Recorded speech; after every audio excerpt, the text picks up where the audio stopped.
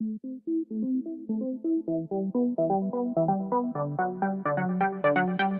you.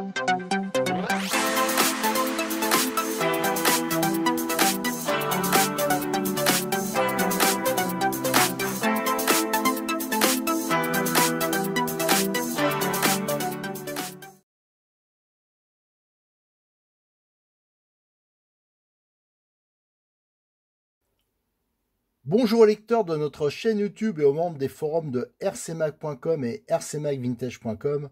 Alors on se retrouve pour la 17e vidéo sur la visite de mon petit musée euh, RC.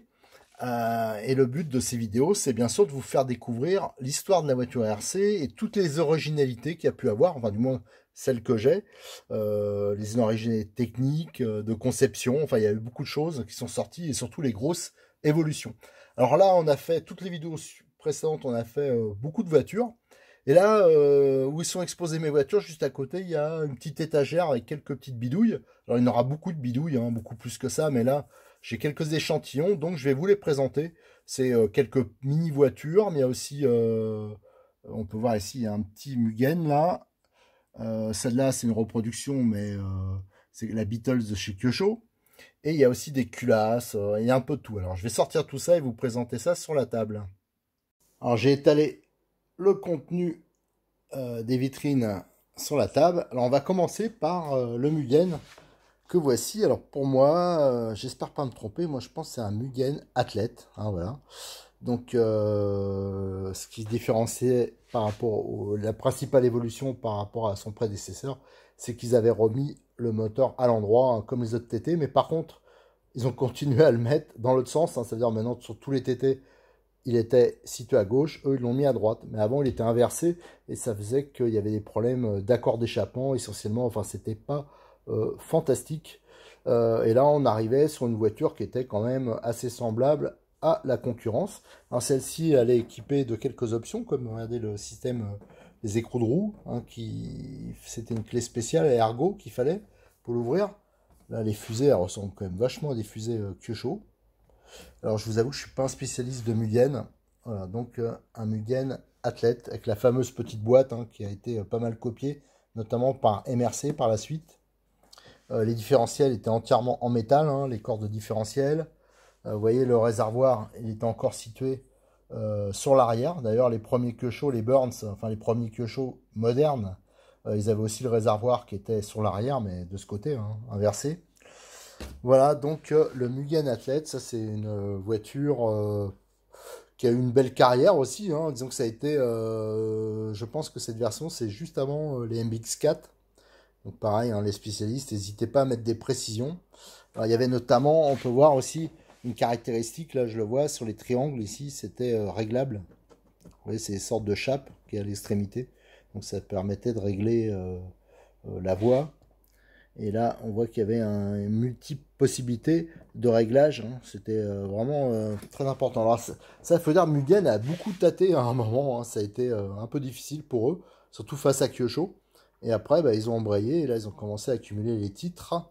Alors, un peu moins que Kyosho, hein, parce que Kyosho avait commencé un peu avant à les accumuler je rappelle, hein, les plus titrés, surtout au niveau euh, championnat du monde, ça reste toujours Kyosho, mais Mugen euh, est pas très loin derrière.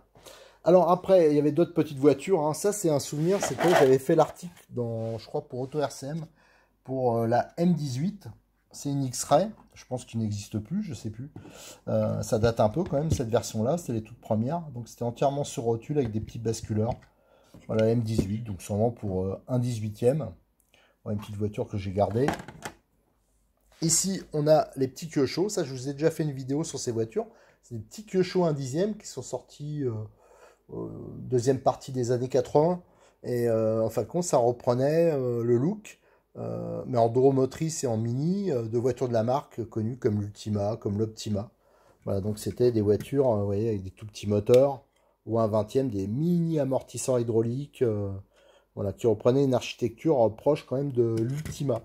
Alors ça, j'en ai, euh, j'ai les boîtes, hein, que je vous ai déjà présentées. Là, j'ai euh, deux voitures. Euh, il n'y a que celle-là qui est à peu près complète. Ce qui manque, c'est la partie équipement radio. Alors celle-là, l'équipement radio, mais c'est une, une épave. Il faudra que je vois si un jour j'aimerais bien en refaire rouler une, surtout que maintenant tout est miniaturisé, donc ce sera plus facile de le faire. Et là, on arrive sur les parties alors des échappements. Alors, c'est pour vous montrer l'évolution des échappements. Alors ça, par exemple, c'est un échappement dans la deuxième partie des années 80. Euh, hein, euh, euh, ça doit être peut-être de 86, 87. C'était les échappements Yankee. Alors là, il y en a deux versions. Il y en a une qui était pour les tractions, l'autre pour les, les 4.2 ou 4.4. Donc vous voyez la forme, hein, qui est quand même assez particulière par rapport aux échappements de maintenant. Vous voyez? Donc ça allait, bien sûr le tube de sortie était sur l'arrière. Euh, qu'est-ce qu'on a? Là J'avais une chemise piston d'une grosse cylindrée. Alors je sais pas exactement ce que c'est. J'ai gardé ça. Euh, moi j'aime bien les, tout ce qui est les pièces. Ça, ça doit être quand même facilement un 10 cm3. Ici, on a un échappement. Euh, alors, la marque, j'arrive pas à me rappeler. Je me demande si c'est pas MPS, je sais plus trop. Et échappement comme c'était fabriqué à l'époque. Hein. donc, il y avait deux pièces tournées qui s'emboîtait dedans. Et là, on accordait le tube de sortie, là, il est sur une durite, et en rentrant ou on, voilà, on, pouvait faire varier l'accord selon la position du tube dans l'échappement. Donc c'est assez lourd. Alors j'ai pas essayé de le démonter pour voir parce que je vois pas, j'avoue, euh, trop comment on fait. Euh, faudra que je regarde à l'occasion. Ici, on a un échappement français, un Tecma. Voilà, et la caractéristique, vous voyez, il est entièrement en carbone. Je peux vous dire qu'il pèse euh, rien du tout. Donc euh, voilà, les échappements français Tecma qui ont eu leur petit succès à un moment. Bien sûr, c'était très léger. Euh, ça avait une sonorité, je crois, qui était un peu particulière. À l'époque, j'en ai pas eu, hein, mais j'avais des copains qui en avaient. Mais par contre, c'est sûr que sur un choc, ça pouvait être assez fragile, mais c'est quand même hyper original. Qu'est-ce qu'on a là? On a les pots. Alors ça, j'en aurais beaucoup à vous présenter. Hein. J'en ai beaucoup dans d'autres vitrines. Euh, c'est les pots comme euh, on avait euh, à la fin des années 70, tout début des années 80. C'était des pots gamelles, hein, parce que les échappements, c'était latéral. Et donc, on retrouvait ce type d'échappement, que ce soit en tout-terrain ou alors en piste. Là, c'est déjà un pot, je ne sais pas de quelle marque il est celui-là, mais qui est déjà un peu plus luxueux au niveau fabrication. Après, on avait les pots spécifiques. Ouais, ça, je pense que c'était pour un traction. Euh, ça, je sais pas si c'était du MRC. Euh, vous voyez, il a une forme quand même qui est assez particulière. Après, on avait des pots euh, comme celui-ci. Je me demande si c'est pas un Paris. Je sais pas exactement. Vous voyez, euh, donc un très gros volume parce qu'à un moment, il y a eu une mode des échappements gros volume. Alors là, il est énorme. Voilà, par rapport à ce qui se fait maintenant, il est d'un beaucoup plus gros diamètre. là, on avait des voitures, c'était juste ça l'échappement. Vous voyez, ça, on mettait bien sûr, euh, vous imaginez bien que c'était quelque peu bruyant et c'est juste une petite tôle euh, voilà, euh, pliée. c'est vraiment pas grand chose. Ça, y avait, ça c'était, j'ai récupéré ça sur une voiture 1 huitième. Regardez la, sortie d'échappement, c'est rien quoi. En diamètre, ça doit faire 3 mm 5 quoi. Fois 2, voilà. Ça c'était le type d'échappement et il y avait une fixation centrale. Voilà. Il y avait une vis au milieu parce que au milieu de la lumière d'échappement sur beaucoup de moteurs, il y avait, il y avait euh, une partie en aluminium dans le moulage qui permettait de fixer l'échappement. Alors c'est sûr que ça favorisait pas non plus le rendement. Là, on a un réservoir Memo que j'ai sablé dernièrement, il était tout rouillé. Voilà, je l'ai entièrement sablé pour le, restaurer. Alors euh, par contre, il faudrait que je mette un vernis parce qu'il va vite trop rouiller. Il manque juste le bouchon là. Alors pour accrocher le ressort au fond, euh, ça doit être coquet. Je sais pas trop comment on fait. Mais vous voyez les, réservoirs, et encore celui-là, je trouve qu'il était assez luxueux. Euh, les réservoirs tout en métal. Après, on arrive sur des culasses. Alors ça, c'est Radio Pilote, je crois. Ça, c'était RC Maro qui vendait ça. Pareil, ça, c'est la fin des années 70, début des années 80. Plutôt fin des années 70. Et là, vous voyez, sur les échappes, sur les culasses, il y avait une gorge ici, au niveau de la chambre de combustion c'est parce que sur le piston, il y avait un déflecteur. Et voilà, donc il fallait faire le logement pour que le déflecteur puisse monter jusqu'à là. Euh. Donc c'était plus des moteurs d'avion. Hein. C'est pour ça que c'était particulier. Et vous regardez, la, culasse, elle est toute petite. quoi. Bon, c'était destiné à des voitures de piste. Là, on avait des culasses comme on trouvait euh, sur les voitures italiennes, souvent. Des culasses rapportées qui sont assez euh, balèzes. on trouvait ça, en fin de compte, sur pas mal de marques, mais ça permettait de le pincer sur la culasse d'avion d'origine, hein, c'est des moteurs d'avion, et ça permettait d'améliorer le refroidissement, elle est assez énorme. Hein. C'est de l'alu euh, moulé. Là, j'ai un moteur. ça, des moteurs, quand j'arrive au moteur, j'en ai un paquet. En fin de compte, c'est un Cipolla Yankee. Il y avait une marque italienne qui s'appelait Cipolla. Vous voyez, c'est échappement latéral et vous avez les trous, les fixations là, c'est par deux vis. Hein. Et euh, donc, ils fabriquaient euh, des moteurs euh, pour le tout-terrain, pour la piste, un peu pour tout. Et à un moment, ils les ont fabriqués, ils ont fait des moteurs pour Yankee. C'est pour ça que c'est gravé Yankee, la marque française Yankee. Donc là, c'est un moteur qui a été multi-titré hein, avec eux, avec le fameux carbu Cipolla qu'on retrouvait sur pas mal d'autres moteurs aussi, on l'adaptait. Et ici, le décrochement, c'était pour le filtre à air. Vous voyez, les culasses, c'était pas euh, énorme. Hein. Et on va finir, on va finir d'ailleurs cette vidéo par ça, par ces deux moteurs bateau. Voilà, moi je collectionne, j'ai énormément de moteurs, hein, ça je vous les montrerai. Et en haut, j'avais monté mes moteurs bateau, spécial hors bord. Alors vous avez, alors ceux-là ils sont vraiment anciens, hein. je pense que ça c'est début des années 80. Euh, donc vous avez la partie euh, transmission, enfin gouvernail, ça sert en fin de compte, voilà, ça c'est articulé. Donc c'est l'ensemble qui tombe pour faire gouvernail, avec les lisses euh, métalliques, tout le système de transmission, là il y a le système de refroidissement qui est intégré. Voilà, c'est une culasse vraiment marine. Vous voyez le carbu avec un gros orifice, hein. à mon avis ça fallait que ça turbine. Et le carbu, c'est même pas un carbu apparemment, non, c'est pas un carburateur, c'est juste, euh, voilà, c'était euh, à fond. voilà, on réglait. Euh, il n'y avait pas de commande de carburateur. C'était plein gaz. Voilà. Donc on avait, là c'est un 3.5. Hein, et c'est entièrement en métal. Moi perso, je trouve que c'est de très belles pièces. Et on démarrait, donc bien sûr, la partie, le moteur, était vers le haut, comme ça. Et donc le cône était en haut. Et on démarrait, comme les avions, hein, par le cône, avec un manchon au caoutchouc au bout du démarreur. Donc là, ça devait être un démarrage relativement facile. Mais par contre, comme il n'y a pas de commande de carburation, c'était direct à fond. Donc il fallait balancer le bateau.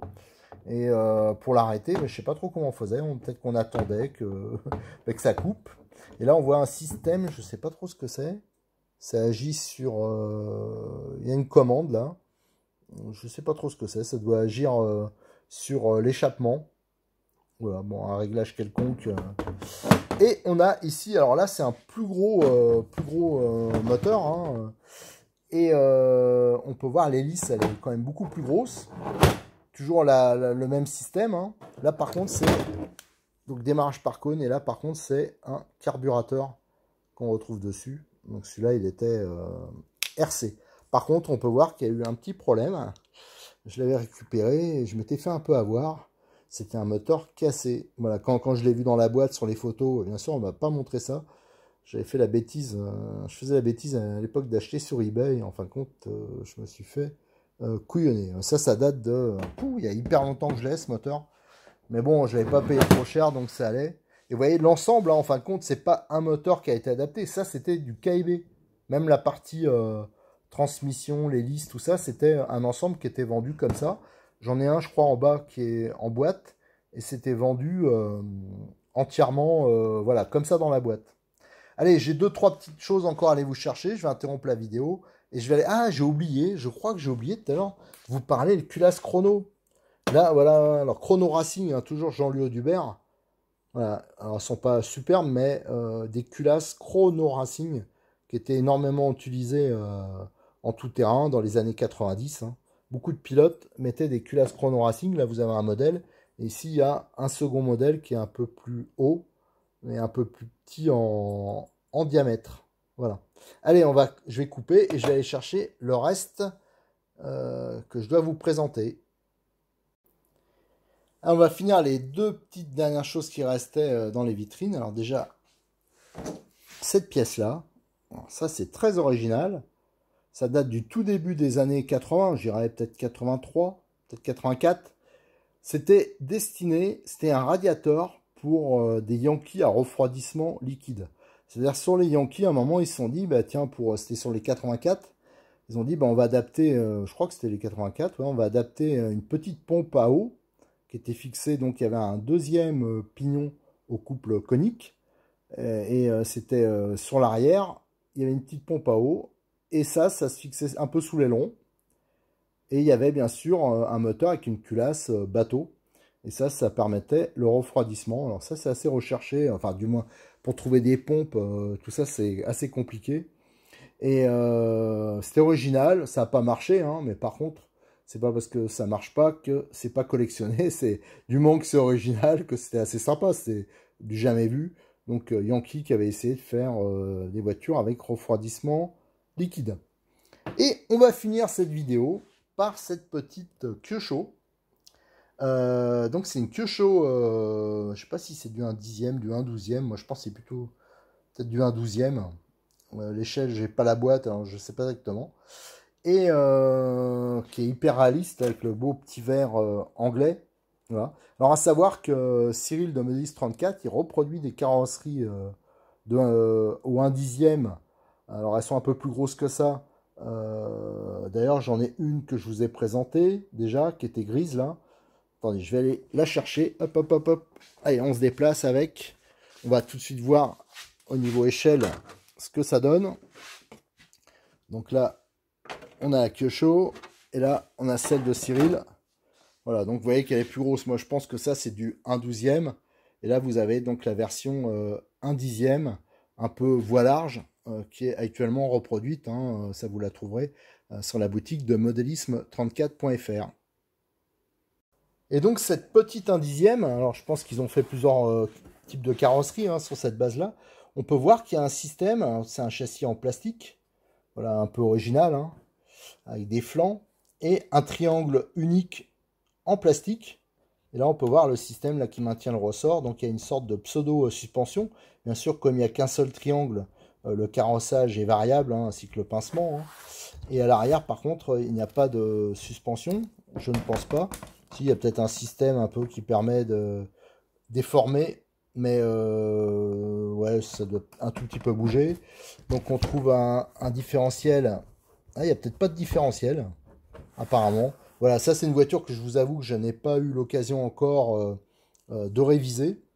Donc, euh, mais qui me semblait intéressant. Alors ça, je vous ferai une vidéo spécifique, pareil. Hein. je démontrerai un peu pour voir. Parce que je vous avoue, je connais pas, mais vous avez les petites jantes mini, hein, style MP, les pneus structurés. voilà, donc ça avait un petit look réaliste. Alors par contre, pour monter et démonter la carrosserie, c'est un peu galère vous voyez, vous avez une fixation à l'arrière, hein, c'est pour éviter d'avoir bien sûr des plots qui ressortent par le dessus. Et là, vous avez un système ici qui permet de la brider. Et à l'intérieur de la carrosserie, vous voyez, vous avez la petite pièce en plastique hein, qui vient se poser sur cette fixation en corde à piano assez fine. Euh, il y a un sauve-cerveau, enfin vous avez un variateur mécanique hein, sur plot. Voilà, donc avec le petit radiateur, euh, la, petite, la petite céramique. Là, on peut voir que ça avait été un peu bricolé avec des dominos d'électricité. C'est pour ça que cette voiture a besoin d'une bonne révision. Et comme j'ai démontré entièrement, ben, j'en profiterai euh, pour la présenter en détail et faire plein de photos. Donc ça, je mettrai ça sur RC Mac Vintage. Allez, je vous remercie et je vous donne rendez-vous pour une prochaine vidéo. Là, on reviendra, je pense, euh, la prochaine, on essaiera de montrer des TT, hein, parce que là, je vais monter à l'étage où là j'ai mes voitures qui ont besoin d'un peu de, révision. Alors, euh, mais là il y a énormément de tout-terrain. Alors ceux qui sont amateurs de tout-terrain, il y aura beaucoup de choses à montrer. Et il y aura aussi beaucoup de radio et surtout de la pièce à montrer. Voilà. Allez, je vous remercie. À bientôt sur euh, notre chaîne YouTube et sur le forum de rcmac.com et aussi celui de rcmacvintage.com.